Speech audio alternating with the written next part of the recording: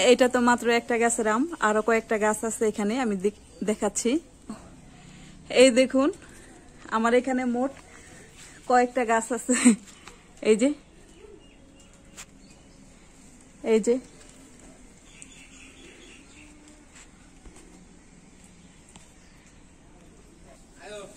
এই তো এটা আমার ফজলি আম গাছ। দেখুন, এই আমগুলো কত বড়। এই তো।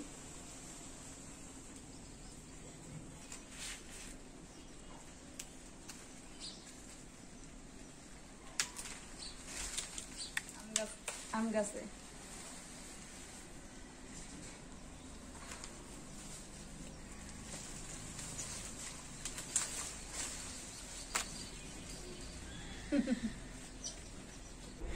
এই দেখুন, আমি কতগুলো আম পেরে নিয়েছি। আমার আম গাছে কিন্তু আরও আম আছে। আমি এই আমগুলো দিয়েই আমের ভর্তা, আমের আচার, আমের শরবত আপনাদেরকে দেখাবো। আর দেখুন কতগুলো আম।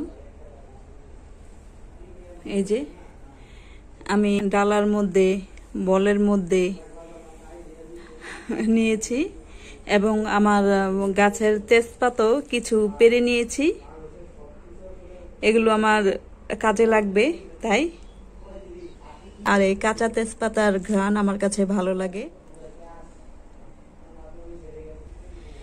একেবারে ন্যাচারাল আম।